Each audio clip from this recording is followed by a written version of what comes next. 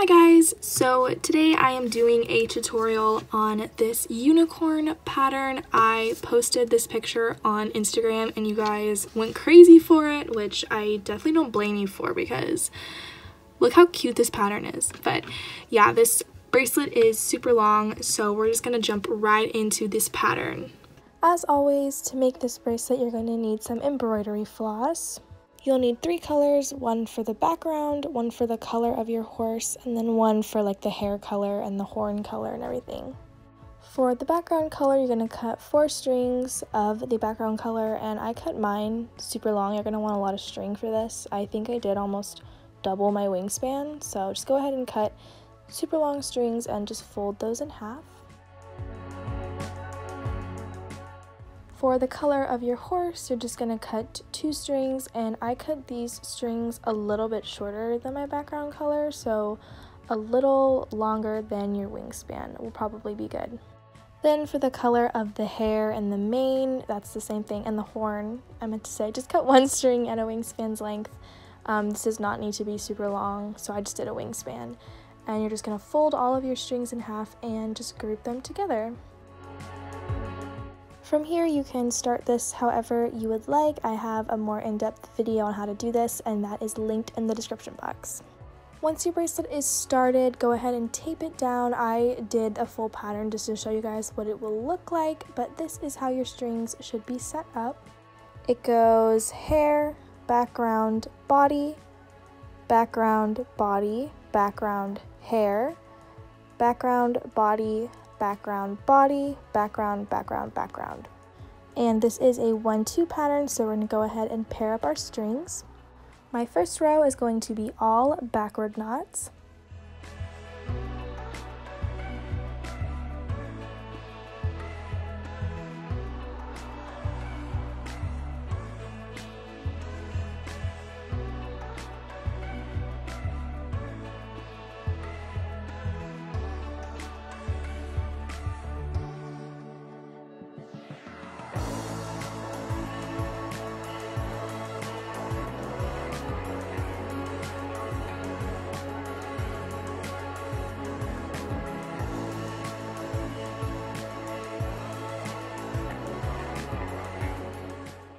For row 2, we're going to leave out our outer two strings.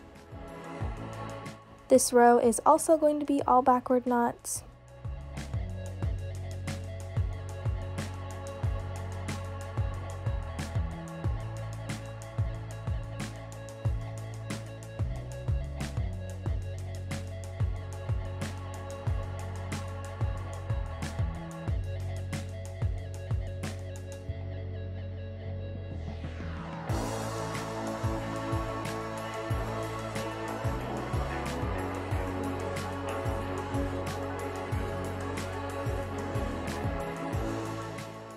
For row 3, we're going to bring back in our outer two strings.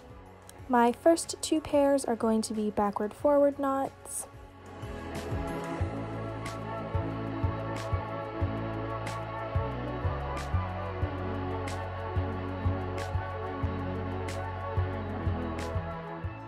And then my remaining five pairs are going to be backward knots.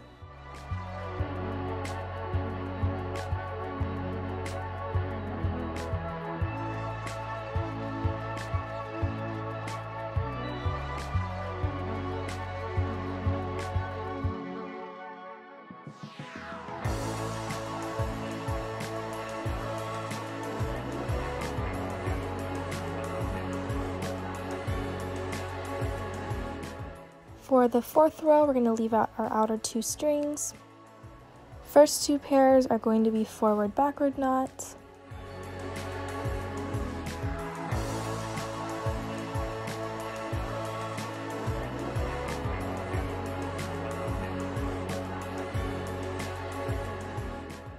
My third and fourth pairs are going to be backward forward knots.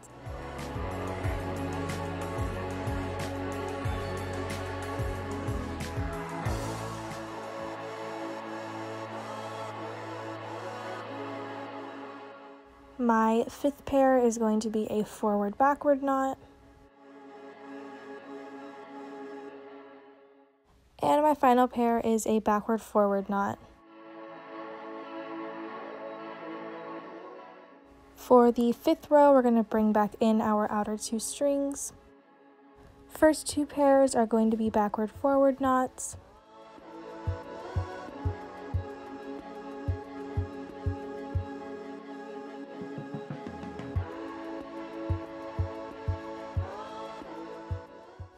Third pair is going to be a forward backward knot. Fourth pair is a backward forward knot.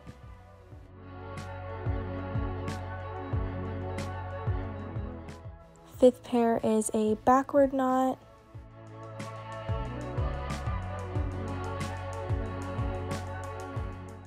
And my final two pairs are forward knots.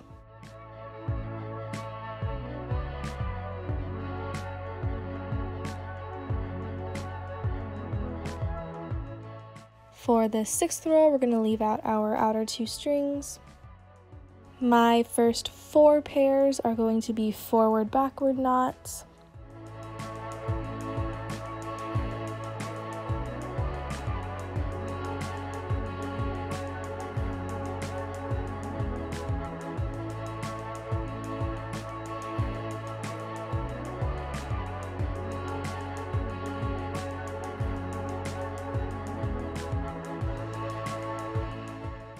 And then my final two pairs are forward knots.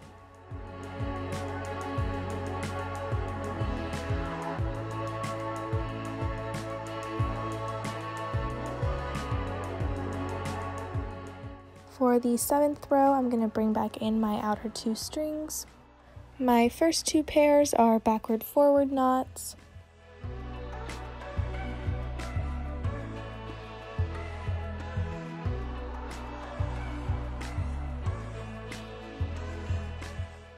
Then my remaining five pairs are going to be all backward knots.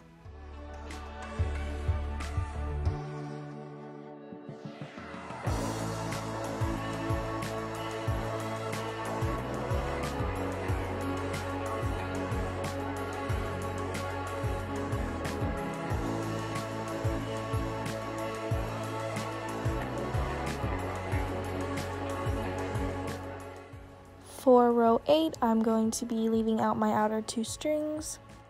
First pair is a forward backward knot.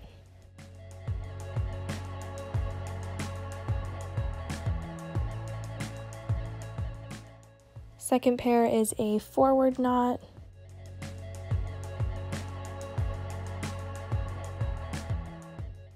Third pair is a backward knot.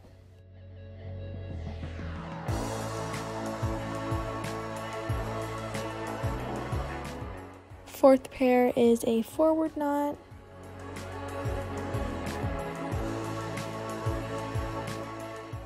And my final two pairs are backward knots.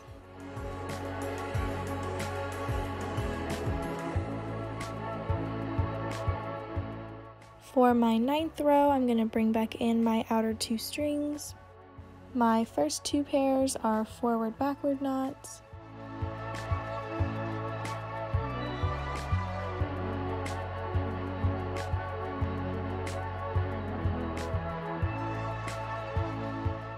My third pair is a forward knot.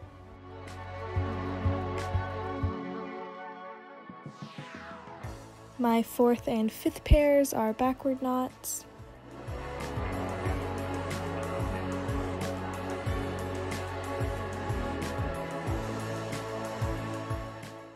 And my final two pairs are forward backward knots.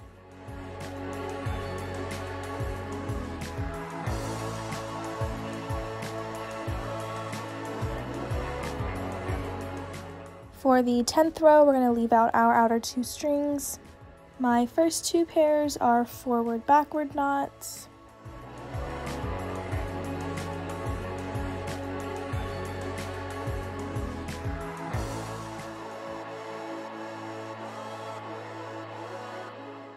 And my remaining four pairs are going to be backward knots.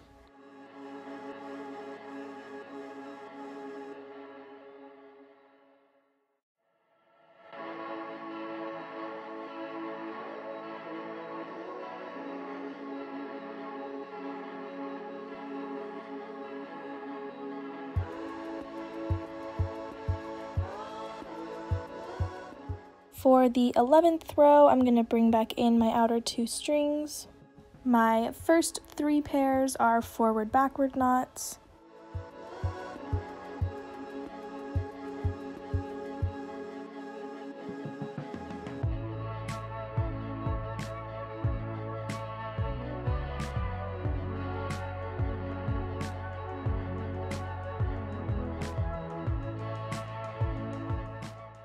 And my remaining four pairs are backward knots.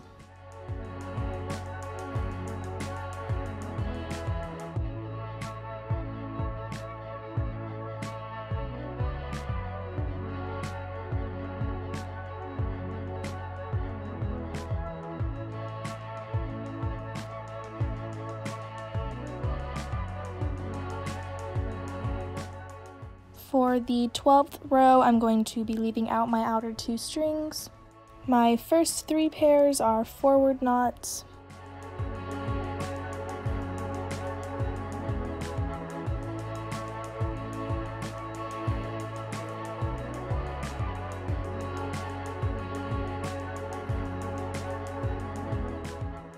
And my final three pairs are backward forward knots.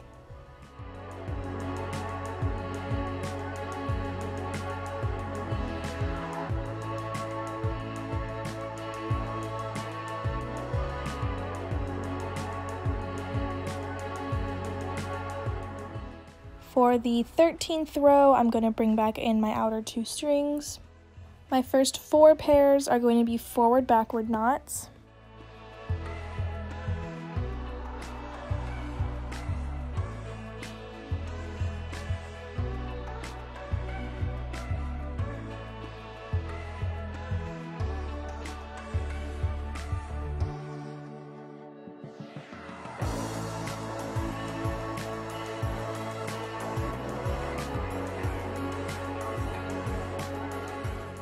And my last three pairs are going to be backward knots.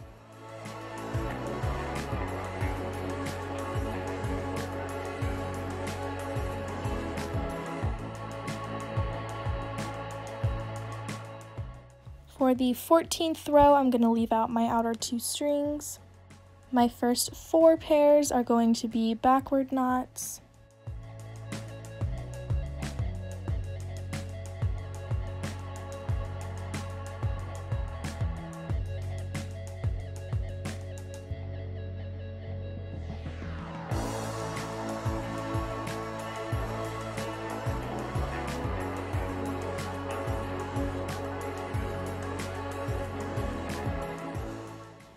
My final two pairs are going to be backward forward knots.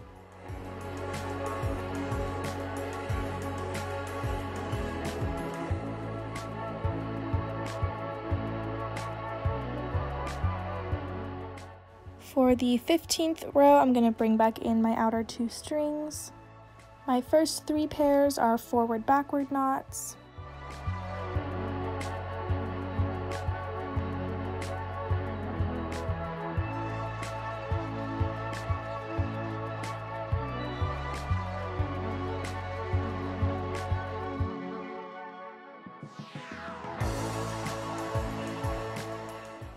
My remaining four pairs are going to be forward knots.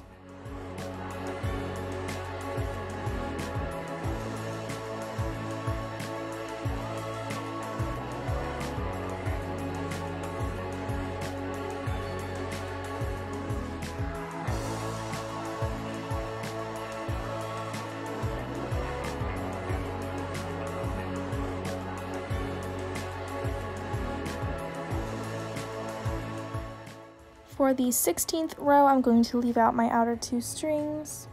My first two pairs are forward backward knots.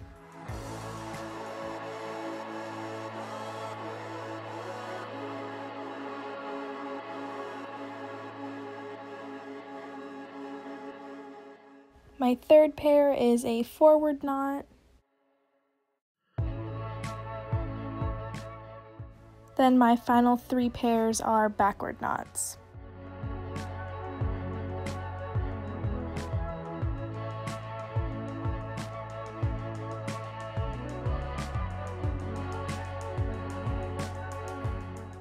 For the 17th row, I'm going to bring back in my outer two strings.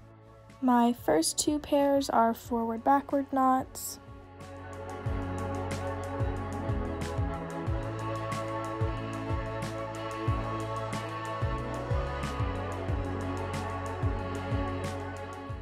Then my remaining five pairs are all backward knots.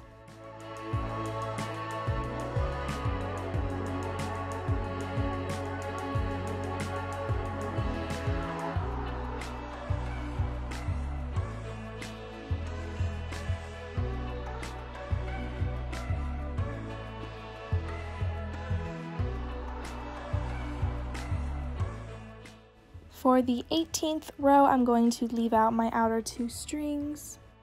My first pair is a forward knot. My next two pairs are backward forward knots.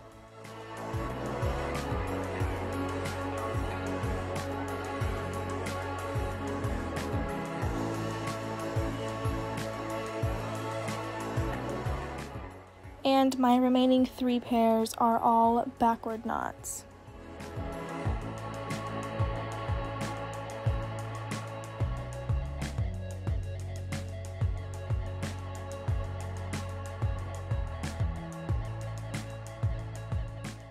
For my 19th row, I'm going to bring back in my outer two strings. My first three pairs are forward knots.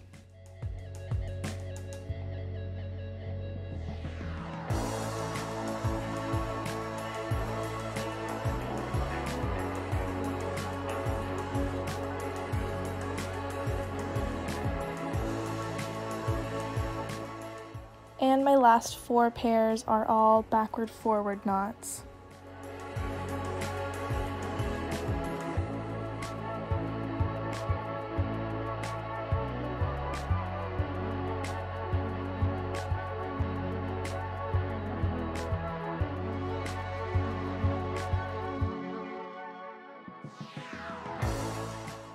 And for the 20th and final row, I'm going to be leaving out my outer two strings, and I forgot to pair up all my strings again, but this entire row is just forward backward knots.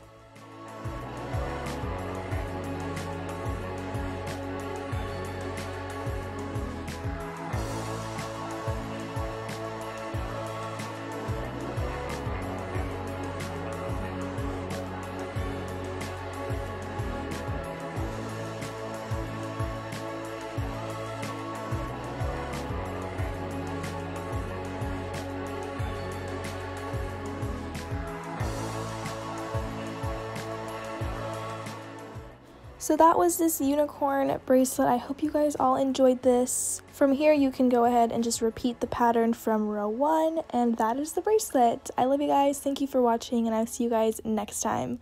Goodbye.